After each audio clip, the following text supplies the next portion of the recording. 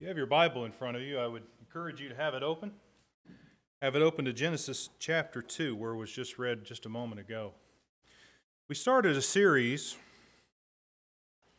oh, I think it was, I don't remember, it was before camp sometime, so May, maybe, something like that. Uh, we started a series entitled uh, Why We Believe in Blank. And we've covered a couple of things uh, as a congregation that I, that I feel that is important that we believe, a couple of really important subjects. And what I wanted to do this week was address why we believe in God's plan for marriage. If you go to the world around us and look for advice on marriage, it's highly suspect. If we human beings were so good at marriage, why are there entire shelves of books in bookstores entitled Marriage Help? We're not so good at it, at least as a world and as a people. And I'm here today to tell you that if you go looking for controversy regarding what you believe in terms of marriage, it's not hard to find. There are entire, this is this was unknown to me, but it's just uh, an eye-opening thing. There are entire websites devoted to exposing specific errors regarding marriage, divorce, and remarriage. And I have to admit, I wasted a great deal of time reading some of that material. It's like, wow, you know. What I want to do this morning is go back to the scripture. I want to look at what the Bible says about what God's plan for marriage is. And I want to start in Genesis chapter 2. You know me, I'm prone to go to the Old Testament if I have an opportunity. I want to look at God's plan for marriage in Genesis chapter 2, first of all. As was read just a second ago, the man Adam and the woman Eve were brought together in the garden. And that's really where God's plan for marriage begins. God was the one who designed it who created it. And it's God that knows best how it should work and how it should function. And I want to look at that first of all. I also want to notice as we move through the Old Testament, specifically to the law of Moses, that divorce was a known issue in Israel. It's not an issue that was uh, prohibited specifically, as in thou shalt not. But I want to notice as we move through the law that divorce was not something that was looked upon favorably. And even the sort of negative connotations that divorce have in the Old Testament, that just pales in comparison to what's found in Malachi chapter 2. When God, with the uh, exiles and with the really unfaithful Israelites, pointed out not one but two issues they were having in terms of their marriages. By the time we get to Jesus, the three synoptic gospels mainly, Jesus takes what has been done to marriage, specifically what the Jews believed about it and what they believed about the idea of divorce. Jesus takes this and puts it back where it belongs. And as Christians, as followers of the Christ, we're to be people that feel and believe and practice and preach what Jesus did in terms of our marriages. And so, following all that, we'll have a few things to look at first of all, or a few considerations, or four of them specifically we can make from that specific study. But let's look at Genesis 2.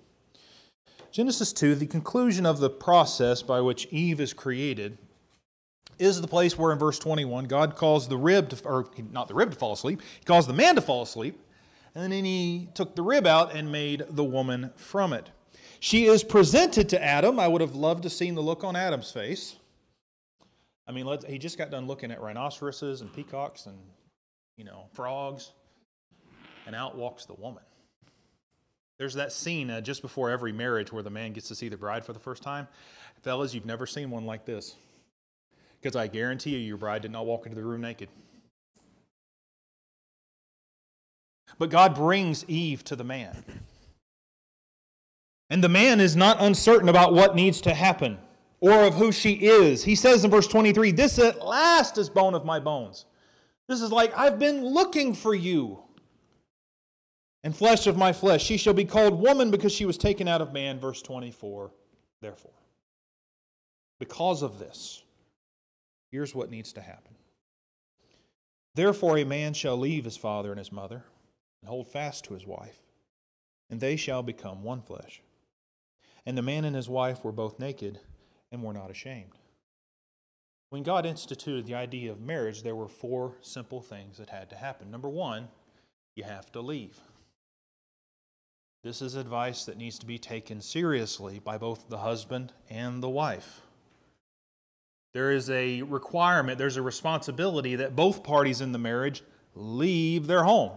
And not just leave as in I'm going to move out, but leave in terms of they're going out to establish their new family. They're not going to be subject to what the parents will on either side. There certainly is advice, there's certainly submission to parents still there. But the scripture teaches a leaving that has to happen. Now, Adam doesn't have a father yet, or really at all. This is a prescription for something moving forward. But they are told to leave father and mother. The old versions would say cleave to his wife. Cleaving, that idea, that word that really means to glue or to cement or to weld or to, you know, attach oneself to another permanently. Leaving and cleaving. But then the cleaving has to become something a little more than just being bound together. Imagine, if you will, I didn't do this beforehand, so I'm going to waste 10 seconds to do this. Imagine the husband and the wife, they have separated. You notice they're different. They're not the same, but they're compatible, right? And then they leave father and mother, and then they cleave together. Well, what would happen next? They need to be so tightly bound so closely unified that the distance and the separation between them begins to fade. They begin literally like two trees planted side by side to grow into one another, to become one person. So close that one can finish the other one's sentences, and sometimes that gets on our nerves. So close that if you ask the opinion of one, you automatically know the opinion of the other. so close that separating them would cause great injury to both. Leave father and mother and cling or cleave to his wife, and they shall become one flesh. The one flesh idea isn't limited to, well, they're going to be biologically compatible and they're going to come together intimately in that setting. They're going to come together and become one person. And in that unity, they're able to experience and enjoy intimacy on a physical level, but also on an emotional level. They're going to be able to enjoy one another's company. There was a TV show not long ago called Naked and Afraid. This is not the way marriage was supposed to be. Naked and unashamed. Because there is nothing shameful going on. The Hebrew writer would describe the marriage bed as undefiled, you remember. Nothing shameful, nothing embarrassing, certainly private. But they're to enjoy that relationship together and to grow close to each other and to be so tightly knit together that to separate them would take a great deal of force and violence. Well, it isn't long in the biblical story before marriage begins to be distorted. The fourth chapter of Genesis records a man who had two wives, and he's not necessarily a good person either. But as we move forward through the biblical account and we get to the law of Moses, again, there is no thou shalt or thou shalt not for marriage. But divorce is mentioned frequently enough and with enough surrounding information that we begin to see that it was a problem in Israel. Divorce wasn't a blessing to the Israelites. It was a known issue, and it was an issue that would raise its head in certain situations that had to be dealt with. For instance, in Leviticus chapter 21, in the requirements for the priests and whom they could marry, priest, in terms of just a regular priest, not the high priest, that has a special requirement, but a priest in Israel was only allowed to marry one of two types of women one, a virgin, or two, a widow a widow whose reputation is above reproach. Everyone else whether it be a prostitute who shouldn't exist in Israel, by the way, in the first place, or a unclean woman, or a profaned woman. But included in that list in Leviticus 21 is divorced women. Now, as I say that, please understand me clearly. I don't mean to say that because divorced women are included in Leviticus 21 that divorced women are necessarily immoral. That's not the case. It was often enough the case, often enough the case, that priests were not allowed to marry women who had been divorced. Farther along in that same chapter, in verse 14, the high priest had an additional requirement. He wasn't allowed to even marry a widow. It was a known issue and an opportunity for a problem to come up in terms of the priesthood. And you remember they're, they're, they have a heightened uh, holiness that they need to practice. Farther along in the law, in Numbers chapter 30, when the requirements for swearing of vows were given and the restrictions on that, the law stood in Israel that if a husband and wife were married and the wife swore a vow, and let's say it's ill advised, it's done in emotion, it's done for a, a poor reason, then in that situation, the husband could step up and say, No, that's not binding. I'm taking over. That doesn't count. That's the shorthand version of what's there. But in verse 9, a divorced woman, because she has no husband, and because there's, because there's no husband, there's no one to mitigate, there's no one to step in and really, you know, uh, take care of this, her vow was binding. Now, that doesn't point negatively or positively to divorce, but it does highlight the fact that it is a known issue in Israel. In Deuteronomy 22, the two laws we have concerning divorce restrict it and forbid it in a couple of very interesting situations. In Deuteronomy chapter 2, beginning there in verse 13, if a husband accused his wife of being unfaithful to him, or rather, I said that poorly, if a husband accused his wife of having been defiled before their marriage, let's say she was supposed to be a virgin and she wasn't, or he claims that to be the case. When the evidence is brought out proving that she was in fact pure, the husband is forbidden in verse 19 from ever divorcing her. Now, when you look in the context, you begin to understand why. For a husband to accuse his wife of such, such gross immorality, it would ruin her forever. And if he were allowed to separate from her, she'll never find another husband. She's vulnerable. She's out of her father's house and she's out of her husband's house. She's by herself and alone. And so, God doing what God always does is protect the vulnerable, says, You can never divorce her all of your days. Same situation is true later on in the chapter. If a man finds a woman who is engaged and he essentially rapes her, takes advantage of her, then he has to marry her. And he is forbidden from divorcing her all of his days. And really, the reason's the same for that. Because he's violated her, she's now in a vulnerable position. Because of that, the husband is forbidden from doing this. Deuteronomy 24 is the key passage in the law regarding divorce, probably the place where it's spoken about most at length. If you have your Bible, you can have it open there. Deuteronomy 24, beginning there in verse 1. You got to understand when you read the law, sometimes the law does say, thou shalt and thou shalt not, but sometimes the law gives you a situation and then makes a judgment regarding that situation. It's kind of like here's a precedent, or here's an example for you, and here's how you should judge according to the example. In Deuteronomy 24, what I want you to notice first of all is that the first two verses highlight a really terrible situation. This isn't a situation we look at and go, oh, well, this seems to be a good idea. Deuteronomy 24, verse 1 when a man takes, his, takes a wife and marries her, if then she, he, she finds no favor in his eyes because he's found some indecency in her, and he writes her a certificate of divorce and puts it in her hand and sends her out of his house, and she departs out of his house. And if she goes and becomes another man's wife, and the latter man hates her and writes her a certificate of divorce and puts it in her hand and sends her out of her house, his house, or if the latter man dies who took her to be his wife. Nothing's going well in those two verses. This is a disaster. This isn't one flesh.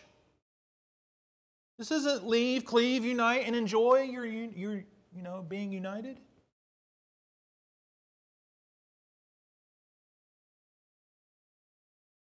This is a law preventing further damage. This is a law trying to bound something that has gotten loose. It's providing guidance for a horrible situation. And to prevent this situation from causing further immorality, by the way, I mean, can you imagine the first the wife going back to the first husband having also been with the second husband and then you've got really terrible stuff going on? To prevent something worse from happening she is forbidden from going back to the first husband. Notice how it's described there in verse 4.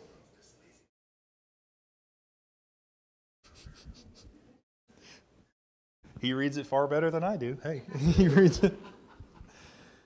Notice verse 4 with me.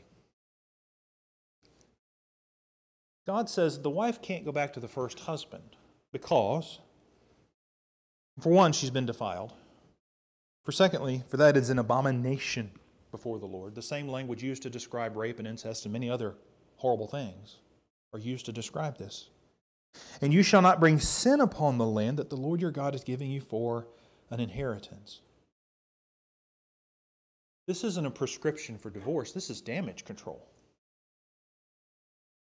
In, in his commentary on Matthew, which is uh, in most account, most cases quite good. Uh, N.T. Wright puts it this way, and you remember this was the passage quoted in Matthew 19, which we're going to get to in a moment. But in his commentary on Matthew 19, N.T. Wright put it this way. He said, "The Deuteronomic legislation is a response to human failure." An attempt to bring order to an already unideal situation caused by human, quote, hardness of heart. You remember that's the thing Jesus said, Matthew 19. Because of the hardness of your hearts, Moses allowed this. He goes on, it was the fact that divorce was already taking place in defiance to God's stated intention for marriage that made it necessary for Moses to make appropriate provision. But it should never have been so. The existence of divorce legislation is a pointer not to divine approval but to human sinfulness. Further along in that same passage, it was a mark of divine condescension. Even after his people had rejected his design for marriage, God gave them laws to enable them to make the best of a bad job. But the Mosaic, quote, permission was not a statement of the way God intended things to be. To see this most clearly, take your Bible and open it to Malachi chapter 2. Easy way to do that is open it to Matthew and then back up a couple pages. In Malachi chapter 2, the prophet Malachi is sent to Judah. And he there is a lot going on. Malachi is not a long book, but there are some rather strong rebukes in that section. Uh, the priesthood is rebuked. The, uh, def, the, the practice of offering defiled un, you know, unworthy sacrifices is rebuked. In chapter 2, beginning in verse 10, two separate things are rebuked. For one, beginning chapter 2 and verse 10, leading down through verse 12, Israel is marrying outside of Israel. Israel is marrying foreign wives. They're marrying people outside the nation of Israel, wives who practice any and all kinds of idolatry. And, and Malachi rebukes them for this in verses 2 through 12. When you get to verse 13, Malachi says, And the second thing you do, you cover the Lord's altar with tears, with weeping and groaning, because he no longer regards the offering or accepts it with favor from your hand. But you say, Why does he not? They're coming before the Lord with worship, and the Lord's not interested in it. And they're like, Well, what's the problem? He continues. Because the Lord was witness between you and the wife of your youth, to whom you've been faithless, though she is your companion and your wife by covenant. Notice verse 15, it should sound familiar. Did he not make them one? with a portion of the Spirit in their union? And what was the one God seeking? Godly offspring. The ESV says, So guard yourselves in your spirit, and let none of you be faithless to the wife of your youth. For the man who does not love his wife but divorces her, says the Lord God of Israel, covers his garment with violence, says the Lord of hosts. So guard yourselves in your spirit, and do not be faithless. If your translation says something slightly different, I'm going to address that in just a second, but I want you to notice what the Lord called it. The ESV says, The one who does not love his wife but divorces her covers his garment with violence. That is as graphic as you can imagine it to be. The definition of violence, I think, aptly describes what happens when a divorce occurs. The word, or at least the noun of violence, one of the definitions, the use of physical force so as to injure, abuse, damage, or destroy. An instance of violent treatment or procedure. Injury as, as, or by, as by or as if by distortion, infringement, or profanation. My family has seen divorce firsthand. A lot of your families have too. You know as well as I do, those are the perfect words to describe divorce. While it may not be physical, and heaven forbid if it is physical, it is something that injures, it is an abuse, it causes damage you can't imagine, and it destroys families. Our world looks at divorce as a solution, as a easy way out. Saying divorce is a solution is like saying amputation is a solution. It might be, and there may be an instance in which it is, but there is always a scar. There's always a loss. And it is something that I think is aptly described in the last line of the definition an undue alteration. There is some discussion as to what is the best way to translate verse 16.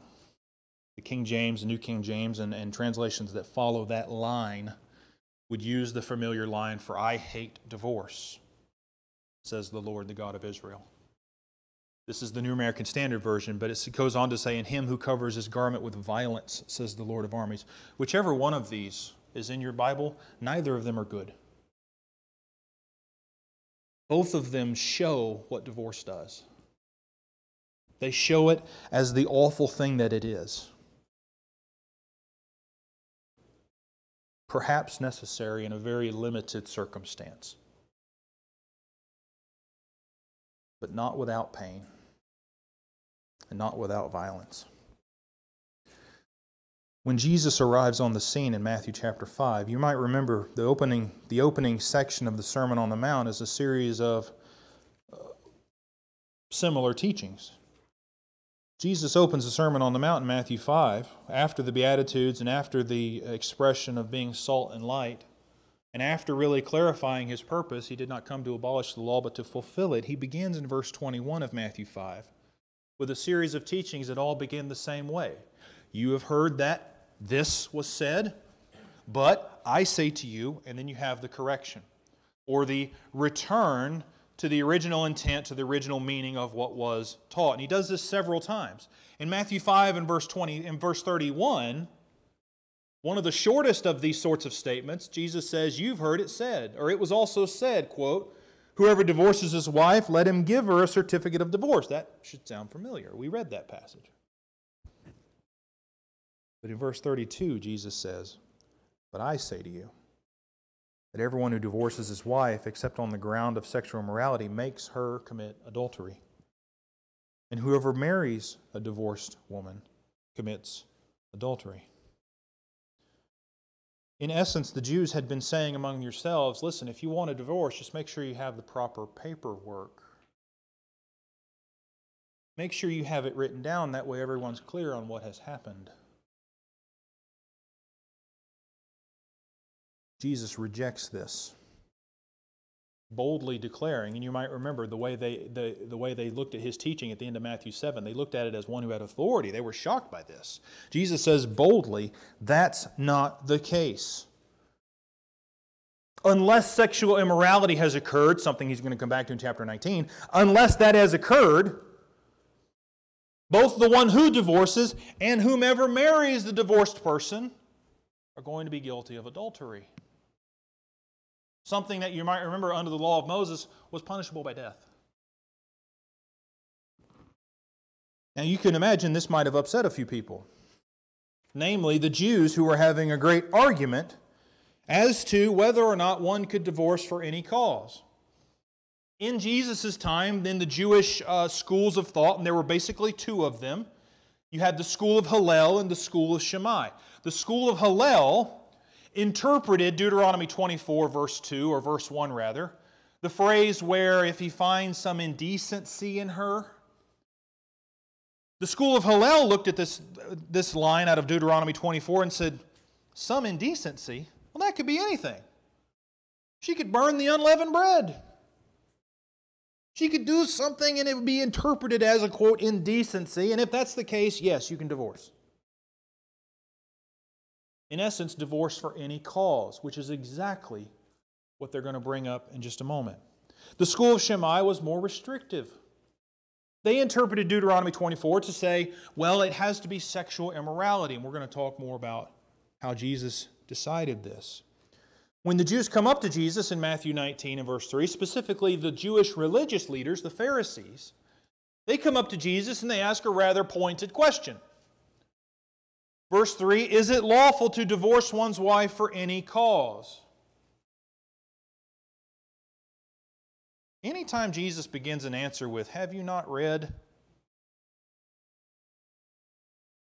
We need to take note ourselves.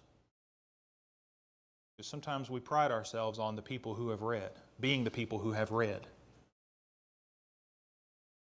Being the people who have read does not inoculate us from seeing it poorly or badly or wrongly. They were concerned whether or not they could divorce someone for any cause. And Jesus backs up one step says, No, you've missed the point entirely. You're assuming divorce is okay in the first place. Have you not read that he who created them from the beginning created them male and female, or made them male and female, and said, quote, Therefore a man shall leave his father and his mother and hold fast to his wife, and the two shall become one flesh? It's a direct quotation from Genesis 2.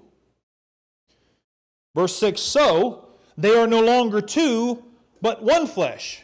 Now he gets to the point at the end of verse 6. What therefore God has joined together, let not man separate. The Pharisees show up to Jesus and say, Hey, can we divorce for any reason? Jesus says, No, you need to back up one step. You can't divorce, period. So then they bring up their proof text. But what about Deuteronomy 24? Why did Moses say, command one to give a certificate of divorce and to send her away? Jesus sets them straight. He says, Let me tell you why because of your hardness of heart. The same phrase you might remember was attributed to Pharaoh. Because of your hardness of heart, Moses allowed you to divorce your wives. But from the beginning, it was not so. Now, understand who is saying that. This is the same one who in Genesis chapter 1 said, Let us make man in our image. He was there. He was there when the man and the woman were both created from dust. He was there when Eve was brought to Adam. He saw the look on Adam's face. He saw the look on Eve's face. He saw the look on both their faces. He was there when marriage was created. He's not just looking back and saying, "Hey, back there in the Bible it wasn't so." He's saying, "Back there when I was when I was there, it wasn't that way."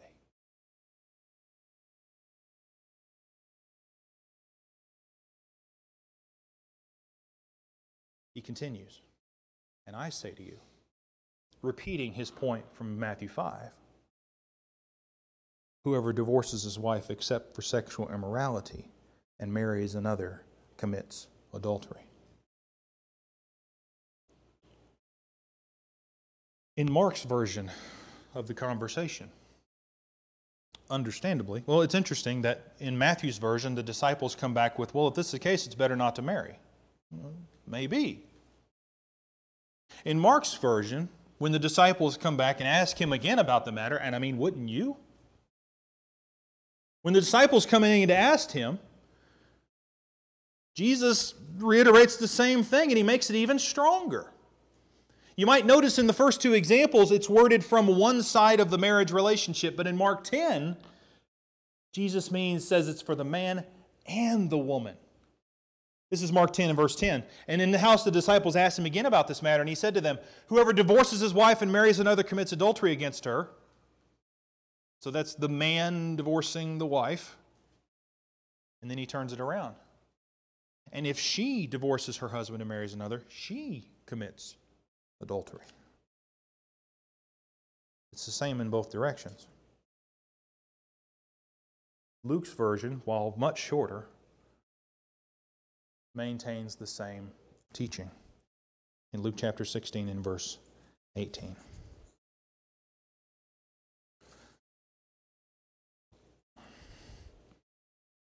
Now, I know from reading all of those numerous sites that I haven't outlined every single possible question.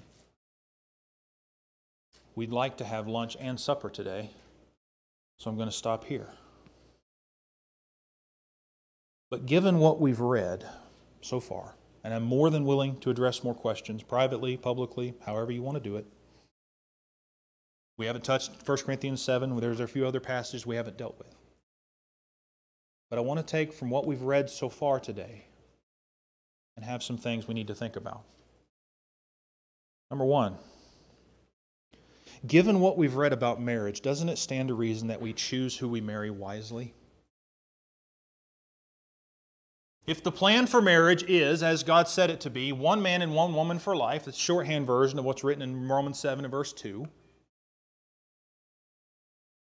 we need to be really, really careful about who we marry.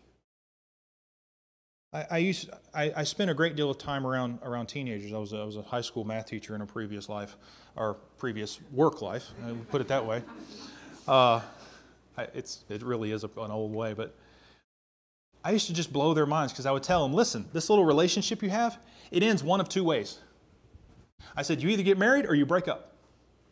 And they go, "No, Mr. Sanders." I go, you got a third? Relationships and dating and all that, it ends one of two ways you marry or you don't. And we need to be looking at those relationships as we date at any age in that light. Is this a person that's going to help me get to heaven? Is this a person that I can be one flesh with, not just physically, but spiritually? Frederick did an awesome job of doing this, picking someone as really your, your soldier in arms, someone who is going to help you fight. We need to choose the person we marry very, very wisely. And having done that, be faithful. The plan is, according to our Lord, one man, one woman for life. The for life part matters. The till death do us part part is, is serious, it's significant, it's critically important. Malachi 2, 2.16, guard yourselves in your spirit and do not be faithless. We should read that at every wedding ceremony we go to. We read the, you know, love is kind, love is, but we read that one a lot. Read this one. Be faithful to your spouse. And in that same line of thinking,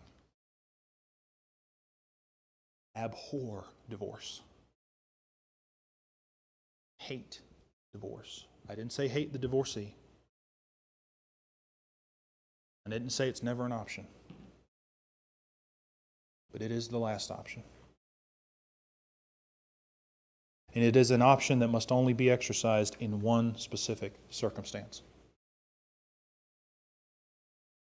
When Jesus mentioned the idea of divorce, he was consistent in the situation that calls for it. Not that requires it. Couples can survive sexual immorality in one or both parties. But it just may be that the marriage cannot.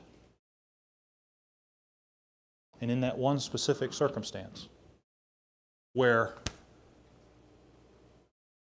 one of the two has let go,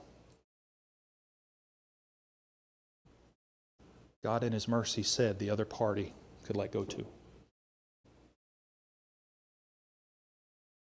And that's the way we need to look at it. When we talk about God's plan for marriage, when we teach our kids about what marriage should and is, should be and is, that's the way we need to describe it. It was our Lord and Savior that gave this as the reason for divorce. Marriage is such a special relationship that when God or when Paul by inspiration was describing the relationship of Jesus to his church in Ephesians the 5th chapter he described it as a marriage a union between a husband and a wife.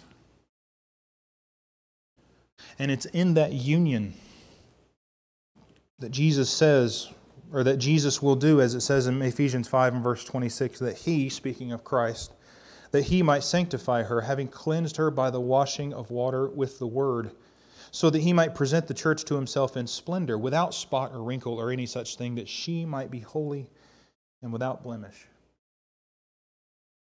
You may be here today and you're looking at your life and you're thinking, you know, that doesn't describe me at this moment. I'm blemished.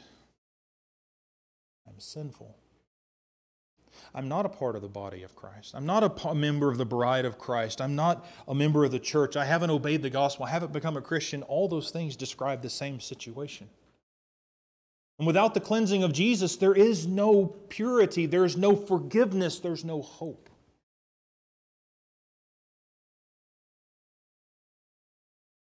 But in the same way that a husband and a wife share a unique intimacy, Christ and His church share a unique relationship. And it's not something you can have outside of Christ. If you're here this morning and you're not a Christian, or you have been unfaithful to the Christian walk, the remarkable description about God in the Old Testament is of Him like a husband waiting for his unfaithful bride to come home. Our God is gracious and forgiving to take you back if you'll go back to Him. It may be this morning that you want to obey the gospel or become a Christian or to return to that walk. Our God is faithful and just to forgive us. We're going to sing a song for your encouragement. If there's a way we can help you with that this morning, we ask you to come up while we stand, while we sing.